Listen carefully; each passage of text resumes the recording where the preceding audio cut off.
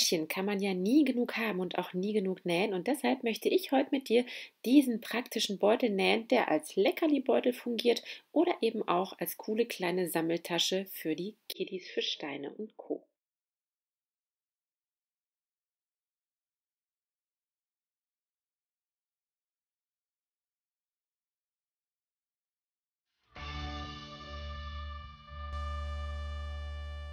Hey, hallo, hallo. Schön, dass du mal wieder auf dem Snaply YouTube-Kanal vorbeischaust. Ich bin Steffi. Vielleicht kennst du mich schon von meinem Instagram-Account Fräulein Tausendschön oder hier von YouTube.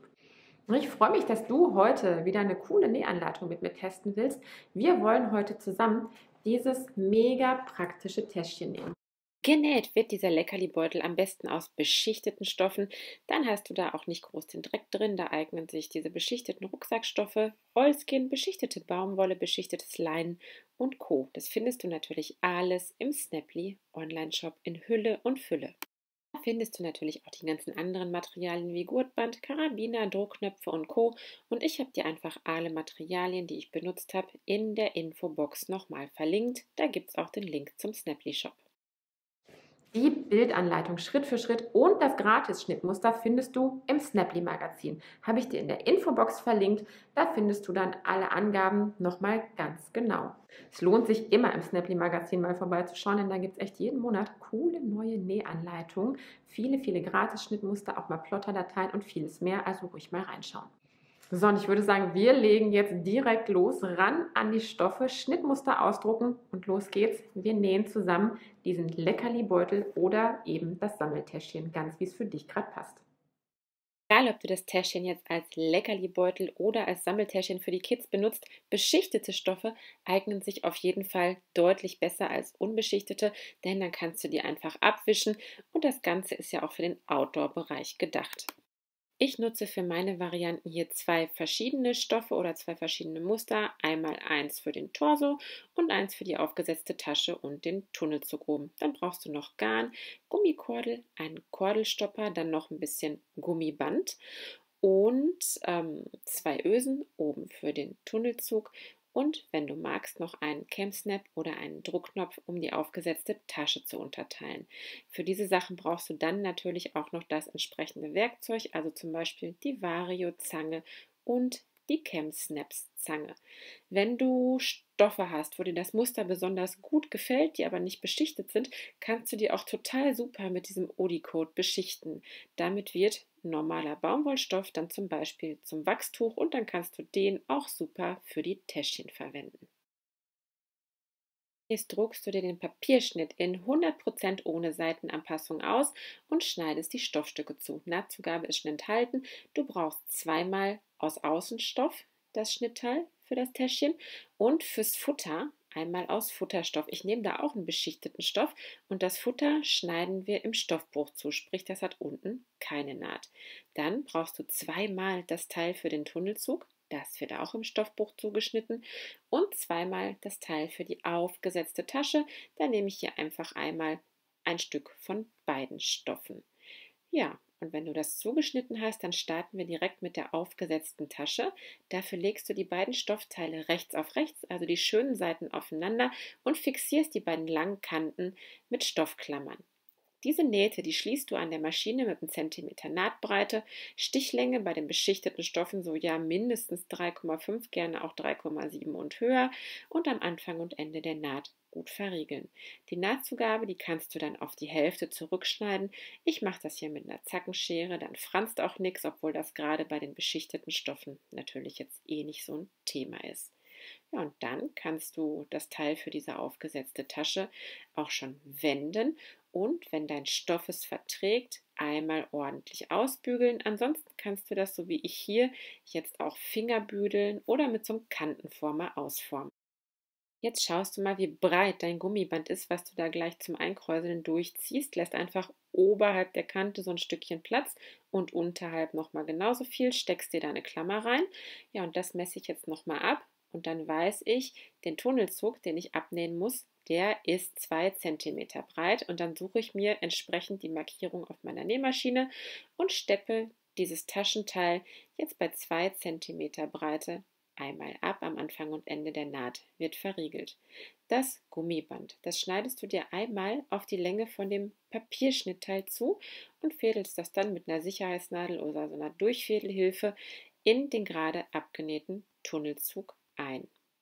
Wenn du das Band so weit durchgefädelt hast, dass es an der einen Seite nur noch ein Stückchen rausguckt, dann fixierst du das da innerhalb der Nahtzugabe, also mit weniger als einem Zentimeter Nahtbreite, an der Nähmaschine. Vorher einmal kurz festklammern. Und dann kannst du es an der anderen Seite auch weiter rausziehen und kräuselst das Ganze dann so zusammen, dass das Stoffstück, was du dann hast, oben die Breite von dem Papierschnittteil hat. Dann kannst du das Gummiband auch an der anderen Seite mal eben an der Nähmaschine festnähen. Jetzt markierst du dir die untere Mitte von dieser aufgesetzten Tasche und hältst das dann auf dem Papierschnittteil an die Mittelmarkierung und übernimmst dir mit einem Trickmarker oder mit Stecknadeln oder Klammern die Markierungen für diese Kellerfalte, die wir gleich einlegen. Diese Falte, die wird gleich nach innen eingelegt. Damit kriegt der Stoff unten dann die gleiche Breite wie oben, denn da ist er ja schon eingekräuselt. Die Mitte, die markierst du dir jetzt am besten mit einer Stecknadel einmal. Vom Papierschnittteil übernimmst du dir auf die Außenstoffteile die Knipse für den Ansatz der Tasche. Das sind die da unten, diese kleinen Striche. Die kannst du einfach einmal kurz innerhalb der Nahtzugabe einschneiden und dann nimmst du dir ein Patchwork-Lineal oder so ein Handmaß und ziehst mit einem Trickmarker oder einer Schneiderkreide eine Verbindungslinie von einem Knips zum anderen. Und damit hast du dann die perfekte Ansatzlinie für deine aufgesetzte Tasche erhalten. Das Taschenteil steckst du jetzt mit der Mitte, die du mit der Stecknadel markiert hast, auf die Mitte dieser Linie. Ich habe mir hier vorher unten am Taschenboden die Mitte markiert. Das ist ein Anhaltspunkt und dann steckst du das einfach fest. Und dann steckst du zunächst diese kurzen Seitenteile ähm, an den Seitenteilen des Taschenoberstoffes fest. Das machst du an beiden Seiten. Ziel ist es jetzt, die Tasche unten genau auf dieser markierten Linie zu fixieren. Du hast ja jetzt eine Mehrweite und das ist diese Kellerfalte. Das heißt, die nimmst du dir, schiebst die so ein bisschen nach oben und legst diese Falte zur Mitte hin ein. Das machst du an beiden Seiten. Das heißt, die treffen sich oberhalb dieser Stecknadel, die die Mitte fixiert. Und dann steckst du das ein bisschen fest und steppst das knappkantig, also mit einer Nahtbreite von 0,2 an der Maschine auf dieser Linie auf. Stichlänge bleibt hier die ganze Zeit eigentlich so im Bereich 3,7. Am Anfang und Ende der Naht wird verriegelt. Die Seiten, die sind ja jetzt noch offen, die kannst du einmal innerhalb der Nahtzugabe auch fixieren. Dann hast du auch da das Taschenteil auf das Vorderteil genäht und dann ist das alles schon mal fest. Jetzt nimmst du dir das hintere Taschenteil dazu und steckst das alles rechts auf rechts aufeinander. Steckst die Seitennähte zu und auch unten den Boden. Den kannst du auch direkt einmal zustecken. Diese Nähte, die schließt du jetzt an der Nähmaschine mit einem Zentimeter Nahtbreite. Am Anfang und Ende der Naht wird jeweils wieder verriegelt. Die Stichlänge, die bleibt, so wie wir sie die ganze Zeit jetzt schon hatten, bei ungefähr 3,7. Wunder dich nicht, eine Wendeöffnung brauchen wir hier bei diesem Projekt nicht. Das lösen wir später über den Tunnelzug anders. Die kleinen Ecken unten, die sind jetzt noch offen und die bilden den Boden. Die ziehst du jetzt einfach so ein bisschen auseinander und legst Naht auf Naht, also die Seitennaht auf die Naht vom Boden. Die Nahtzugaben, die legst du einfach auseinander, fixierst das Ganze mit einer Klammer und nähst das dann an der Nähmaschine mit einem Zentimeter Nahtbreite ab.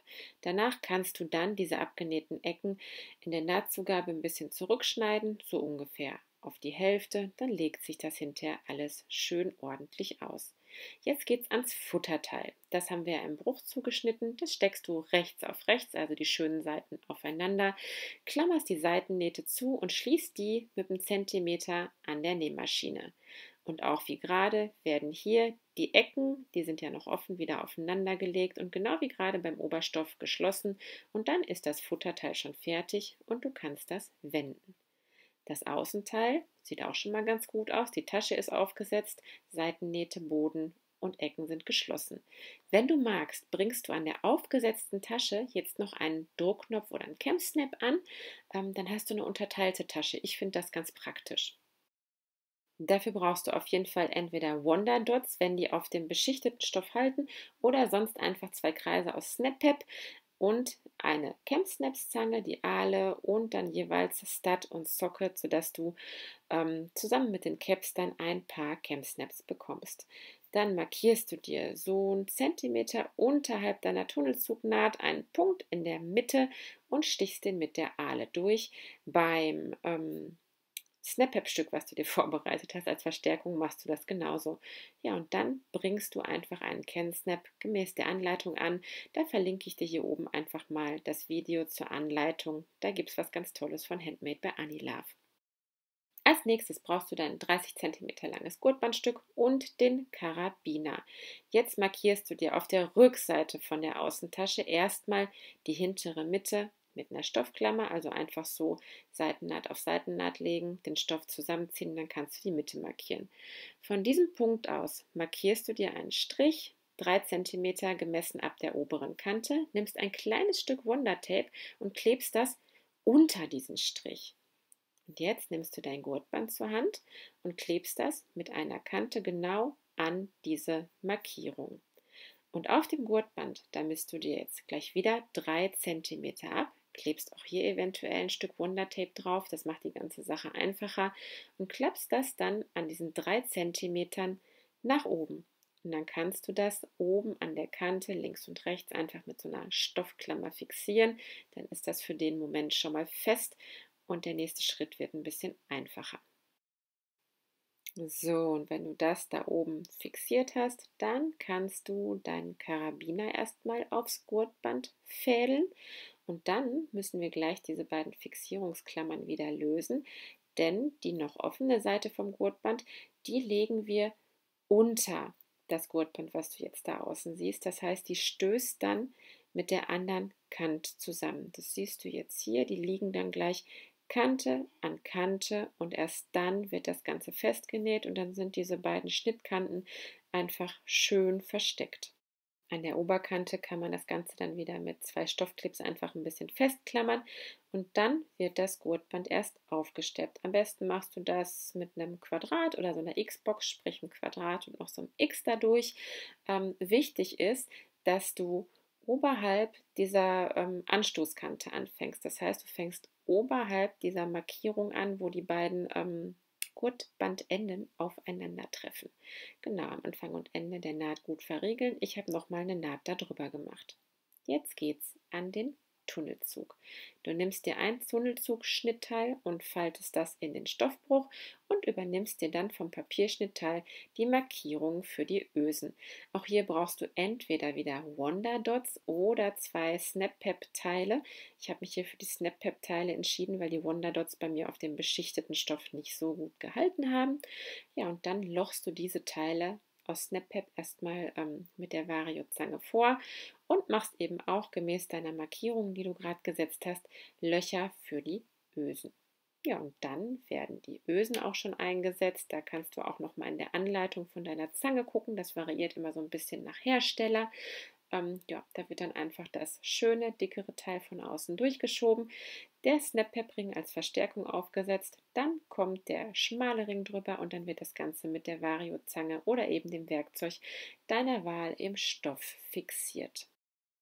Wenn die Ösen drin sind, dann nimmst du das zweite Tunnelzugschnittteil dazu, legst die beide rechts auf rechts und fixierst die Seitennähte mit Stoffklammern. Diese Nähte, die werden dann an der Nähmaschine mit einem Zentimeter Nahtbreite geschlossen. Am Anfang und Ende der Naht wird verriegelt. Wenn du das gemacht hast, kannst du auch hier die Nahtzugabe wieder um die Hälfte kürzen. Ich mache das hier wieder mit einer Zackenschere. Ja, und dann wird das Tunnelzugschnittteil erstmal gewendet und dann nach innen umgestülpt. Das war ja im Stoffbruch zugeschnitten. Das heißt, du formst das jetzt hier so ein bisschen aus und dann schlägst du die offenen Kanten aufeinander. Sprich, du hast dann innen und außen eine schöne Seite. Die Seitennähte, die klammerst du aufeinander und dann machst du das Ganze rundherum auch. Den Tunnelzug hier oben, den brauchen wir jetzt bei diesem Schnitt nicht abnähen. Das ist ja nicht so breit. Das heißt, du kannst dann gleich ähm, dieses Teilchen hier unten an den offenen Kanten einmal innerhalb der Nahtzugabe, also mit weniger als einem Zentimeter Nahtbreite, an der Maschine schließen. Dann hast du schon mal ein fertiges Teil und das macht das Annähen gleich deutlich einfacher. Nun brauchst du deine Außentasche, die schaut dich auch mit der schönen Seite an und die Futtertasche, die ist auf links gedreht und die steckst du jetzt in die Außentasche. Das heißt, du siehst dann in ähm, auch nicht die Nahtzugaben, sondern nur die schöne saubere Naht. Steckst hier erstmal die Seitennähte aufeinander und dann die Oberkanten aufeinander.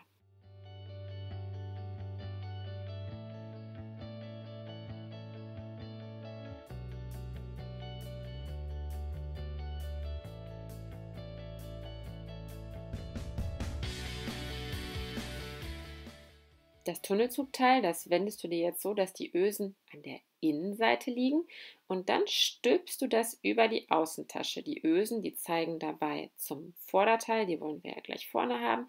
Und dann ziehst du das hier einfach nochmal über dein ähm, Außen- und Innentäschchen, was du zusammengeklammert hast und steckst auch hier zunächst die Seitennähte aufeinander und dann alles an der oberen Kante fest. Da kannst du dich jetzt einfach der Klammern bedienen, die da schon drin sind und kannst das dann einfach etappenweise oben in der Rundung stecken. Anschließend wird das Ganze an der Nähmaschine mit exakt einem Zentimeter Nahtbreite angenäht. Es ist echt total wichtig, hier genau wirklich diesen Zentimeter einzuhalten. Also wirklich schön ordentlich stecken, alle Lagen aufeinander und dann wirklich beim Nähen darauf achten, dass du das bei genau einem Zentimeter zusammennähst. Denn diesen Zentimeter, den brauchen wir gleich noch, um das Ganze zu vollenden. So sieht das dann aus. Gegebenenfalls nochmal nachbessern, also entweder die Nahtzugabe ein bisschen zurückschneiden oder sogar nochmal auftrennen und äh, nochmal neu nähen. Aber der Zentimeter, der muss sitzen. Dann das Tunnelzugteil nach oben ziehen und da siehst du ja jetzt diese Naht mit einem Zentimeter, die wir gerade sehr exakt genäht haben. Und darum schlägst du jetzt das Tunnelzugteil. Du hast das ja nach oben geklappt und jetzt rollst du das einfach so da drum. Das sieht so ein bisschen aus, als hätte man da ein Schrägband angesetzt und steckst das an der Oberkante fest. Das Ganze machst du rundrum und jetzt weißt du auch, warum wir diesen Zentimeter so genau einhalten mussten, damit das einfach eine schöne, saubere Kante gibt. So schaut das dann aus. Der Tunnel liegt schön glatt innen. Da musst du auch gucken, dass das alles glatt liegt, dass du dir jetzt gleich keine Fältchen einnähst. Denn wir steppen das Ganze jetzt von außen im Nahtschatten ab, sprich genau in dieser Naht zwischen ähm, dem Tunnelzug und dem Außenstoffteil. Die sieht man dann von außen gar nicht. Das siehst du hier, also wirklich genau die Füßchenmitte in dieser Naht langlaufen lassen. Ich habe mir auch den Anschiebetisch von meiner Nähmaschine jetzt abgemacht. Dann kann ich das besser um den Freiarm laufen lassen. Schön langsam nähen, einmal rundherum am Anfang und Ende der Naht gut verriegeln. Wenn du magst, kannst du dann jetzt das Gurtband nach oben klappen und auch da nochmal an dieser Nahtschattennaht ein paar Mal vor und zurück nähen. Das gibt dem Karabiner und dem Gurtband nochmal ein bisschen mehr Stabilität. Ja, und so schaut das dann aus. Eine fast unsichtbare Naht. Jetzt hast du es eigentlich schon geschafft. Du musst nur noch die Gummikordel einfäden, den Kordelstopper aufziehen. Ja, und dann, dann ist dein Täschchen, Sammeltäschchen oder Leckerlibeutel, egal für welchen Zweck du das gebrauchen möchtest, auch schon fertig. Ja, das war's schon. Es war ja gar nicht so schwer, glaube ich. Und ich freue mich, dass du mitgenäht hast. Ähm, vielleicht magst du uns unter dem Hashtag Snaply verlinken und uns deine Kreationen zeigen. Dann sehen wir, was du für einen Leckerli-Beutel oder für eine Sammeltasche gezaubert hast. Ansonsten lass gern ein Like da, abonniere hier den Kanal, denn hier gibt es immer wieder coole neue Videos und teile auch gern das Video. Wir freuen uns auch, wenn du auf dem Snaply Instagram-Account vorbeischaust, denn da gibt es fast täglich richtig coole neue Nähinspirationen. Und ich sage jetzt ciao, bis zum nächsten Mal. Viel Spaß beim Nachnähen.